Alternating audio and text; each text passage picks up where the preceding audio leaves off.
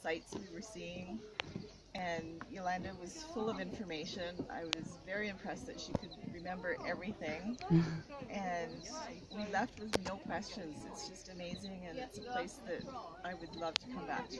Definitely take the hike and view it from the Sun Gate rather than just taking the train and coming up from the valley. It's a lot better. And thank you so much Yeah, thank for the wonderful experience. Thank you.